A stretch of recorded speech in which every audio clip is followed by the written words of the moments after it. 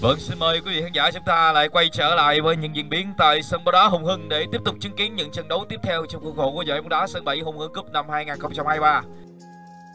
Chiến thắng với cách biệt 10 bàn dành cho các thủ Chi Kỳ FC. Một tình huống dứt điểm nguy hiểm và áp sát không thành công của các thủ bên phía đội bóng Hẻm FC. Đồng hành cùng với bốn cụm sân này là bốn chi nhánh của trung tâm đào tạo bóng đá trẻ Việt Nam Vision Football, cũng là một trong những đơn vị tài trợ của giải đấu lần này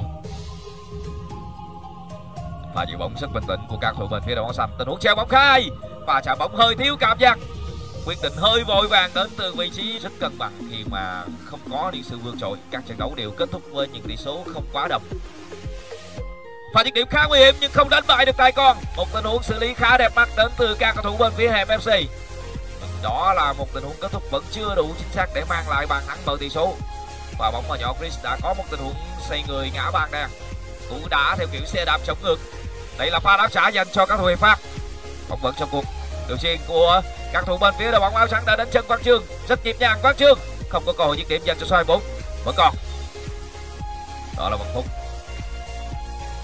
Điều chuyền của đội trưởng nam iniesta.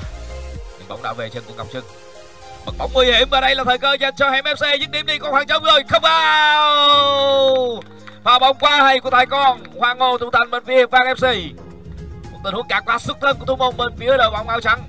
Và để mất bóng nguy hiểm của ngọc trừng ở ngay khoảng trống và pha kết thúc sức căng này lại không thể đánh bại được thủ môn bên phía đội bóng hiệp phát.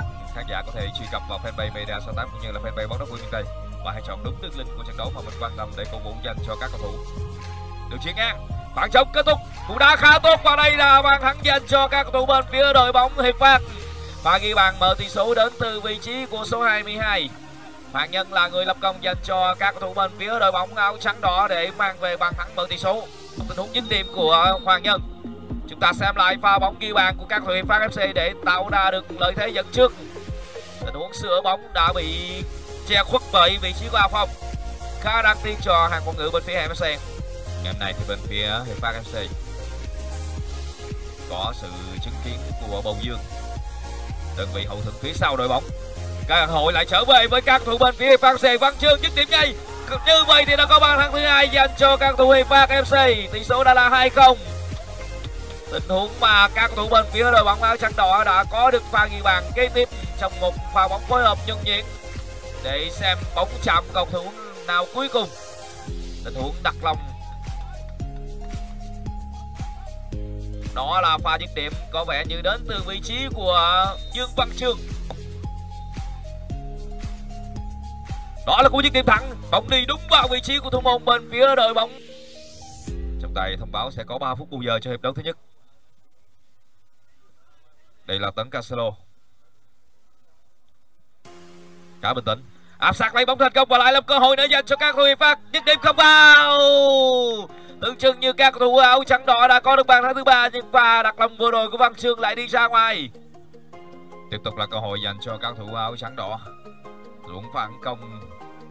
Quyết liệt lại và là hoàng nhân. Một tình huống xử lý hay của số 22 dứt điểm cú đá của số 22 đã bị đối phương ngăn cản. Vẫn là những sự điềm tĩnh đến từ các thủ bên phía đội bóng hiệp phát họ đang thi đấu rất thông thả. Khoảng trống.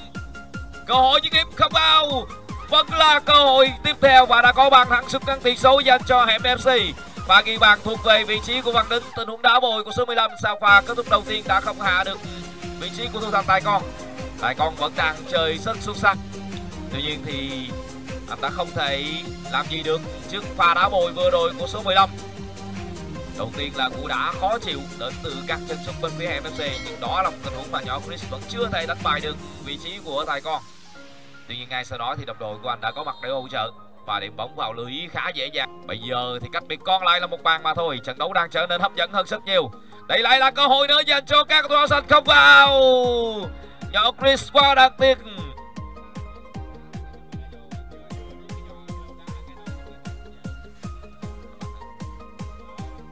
dứt điểm, không được.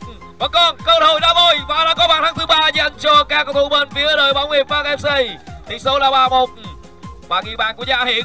Tình huống đá bôi thành công của số 17 đó là một pha bóng mà hàng phòng ngự bên phía đội bóng Hẻm đã không có những tình huống bắt người đủ tốt. Cú đánh đầu đầu tiên đã không đánh bại được thủ môn bên phía Hẻm nhưng ngay sau đó là tình huống băng vào đá bồi chính xác đến từ Gia Hiển. Vẫn là những nỗ lực nữa của các thủ MFC để tìm kiếm bàn thắng. Naminiesta chọc kè Sành người nhỏ Chris vẫn là số 26 đang chơi đây nỗ lực nhưng không thành công. Và đây là cơ hội dành cho Hoàng Nhân đối mặt dứt điểm đi. Cũng đã sân tốt nhưng không có bàn thắng tiếp theo dành cho các thủ MF dành cho các thủ hiệp phát. Phản chống Naminiesta cao người động tác trả không thành công. Các thủ bên phía đội bóng áo trắng vẫn đánh chặt tốt. Đó là một tình huống thu hồi bóng của các thủ bên phía FC và đây là cơ hội nữa dành cho Hoàng Nhân đối mặt. Thời cơ tiếp theo. Không có được pha dứt điểm. Các thủ bên phía MC cũng đã lùi về sức tốc độ để có thể ngăn chặn đối thủ suýt chút nữa thì các thủ hiệp phát có cơ hội để ghi bàn thắng tiếp theo. Cũng đã có độ xảy khó chịu đến từ Ngọc Trinh vẫn là khoảng trống cho Tuấn Cha, dứt điểm không vào. Suýt chút cửa thì Tuấn Cha đã lập công. Laminesa Văn Đinh Bật bóng. Đây lại là cơ hội để dành cho Tuấn Cha. Dứt điểm đi. Hơi chần chừ. Qua đặc biệt dành cho Tuấn Cha. Cần phải có những quyết định được đưa ra một cách quyết đoán hơn đây lại là cơ hội trở lại với các thủ bên phía đội bóng áo xanh. Đường chuyền đã bị cầu hai ngọc trinh cắt được. Và hiện xử lý rất khéo léo để vượt qua nhỏ chris. Và hiện tình huống phản công dành cho các thủ áo trắng. Phản trống, dứt điểm đi. Và hiện không vào. Chỉ có quả phản công mà thôi. Trận đấu tiếp tục trở lại. Đường chuyền dài và phát động tấn công của các cầu thủ áo xanh không được. Tình huống đón bóng đến đầu không chính xác.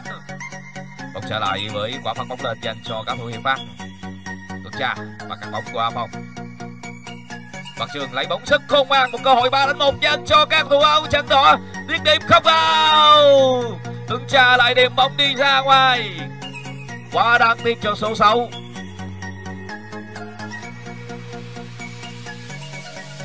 và còn thêm đường treo bóng rất chống chạy nữa, dành cho các thủ bên phía đội bóng áo trắng. Thì sợ khá bình tĩnh của thanh tuấn cột hai không vào định cận chưa thể dứt điểm. Đồng hồ đã bước sang phút thi đấu chính thức cuối cùng của hiệp hai. Lại là cơ hội hai đánh, một dành cho các thủ bên phía đội bóng áo trắng đỏ dứt điểm. Tỷ số là 4-1 dành cho hiệp Bắc FC những thời cơ đã được tận dụng tốt và thanh tuấn đã ghi bàn thắng thứ tư. Thắng của cầu thủ mang chiếc áo số 2 trong một pha bóng vào vị trí của Hoàng Nhân đã chơi rất đồng đội. Đường quá thuận lợi cho pha đặt lòng của cầu thủ mang số 2 để mang về bàn thắng nâng tỷ số lên 4-1. Và hòa Nhân. Rất lạc lẽo.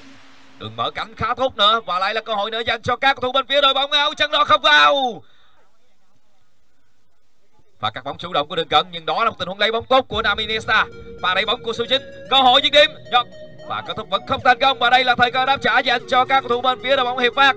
Ba đánh một dành cho hiệp phát fc đường chuyền căng ngang, Đăng huy không vào. Không hiểu là số 12 đã làm gì với tình huống vừa rồi. Chúng ta không nhìn lại pha bỏ lỡ trong tình huống phản công này dành cho các thủ hiệp phát. Các đồng đội đã làm tất cả những gì khó nhất và nhiệm vụ của đăng huy là khá dễ dàng nhưng anh lại điểm bóng ra. Phục bù giờ thứ sáu phục bù giờ cuối cùng của hiệp đấu thứ hai. Vẫn là những nỗ lực lên bóng của các thủ áo xanh. Naminiesa đường chuyền tốt và đây là thời cơ cho dòng Seven. Đối mặt những điểm kỹ thuật không được, đó là đường chuyền. Cuối cùng cũng đã có được bàn gỡ dành cho các thủ bên phía đội bóng hẻm FC đó là pha ghi bàn đến từ Totti. Sự cố gắng của hẻm FC giờ này mới phát huy được hiệu quả chúng ta vừa được nhìn lại pha lập công của Totti để rút ngắn các biệt xuống còn 2-4 chủ nhân của bàn thắng nâng tỷ số lên 4-1 vẫn là cơ hội nữa dành cho Đình Cẩn và các thủ hiệp Park họ vẫn dẫn đội hình lên để tấn công. Một tình huống lấy bóng hợp lệ của các thủ bên phía hẻm FC trọng tài xác định không có lỗi và đây là cơ hội nữa dành cho các thủ áo xanh. Vẫn còn. Và chạm sức quyết liệt là con pha bóng an toàn. Như vậy thì tiếng còi kết thúc trận đấu tứ kết 2 đã được vang lên. Hiệp Park FC đã đánh bại hẻm FC để ghi tên mình vào vòng đấu bán kết vào tuần sau.